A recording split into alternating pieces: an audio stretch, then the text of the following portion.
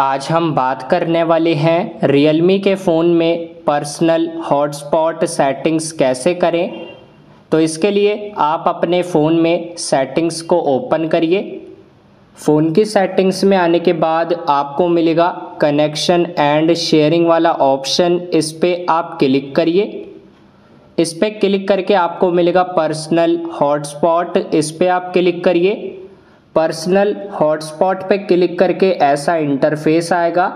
अब यहाँ पर फ़र्स्ट ऑप्शन आएगा अपने फ़ोन के हॉटस्पॉट को चालू करने का।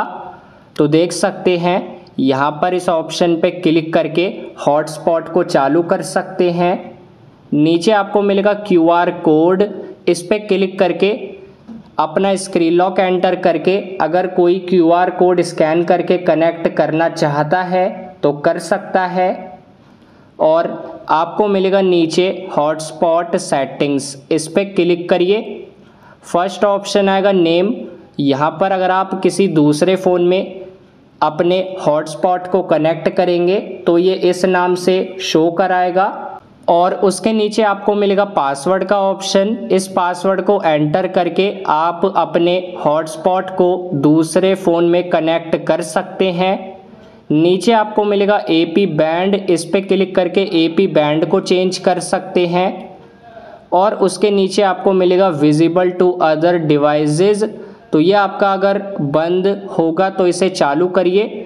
अगर आप फास्टर हॉटस्पॉट को यूज़ करेंगे तो वाईफाई सिक्स हॉटस्पॉट को चालू कर सकते हैं यहाँ से।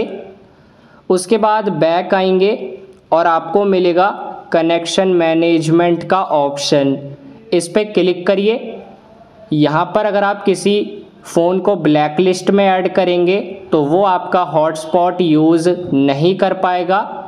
एक टाइम पर कितने कनेक्शन कनेक्ट कर सकते हैं आपके हॉटस्पॉट से, वो आप मैक्सिमम अलाउडेड कनेक्शंस पे क्लिक करके सेलेक्ट कर सकते हैं।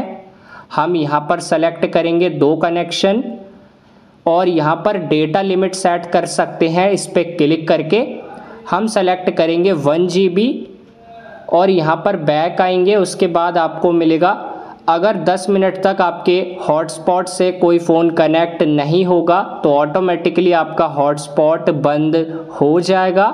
तो इस ऑप्शन को यहाँ से बंद चालू कर सकते हैं। तो इस तरह से हॉटस्पॉट सेटिंग्स करें अपने रियलमी के फ़ोन में। अगर आपको ये वीडियो पसंद आई हो तो वीडियो को लाइक करें और हमारे चैनल को सब्सक्राइब ज़रूर करें।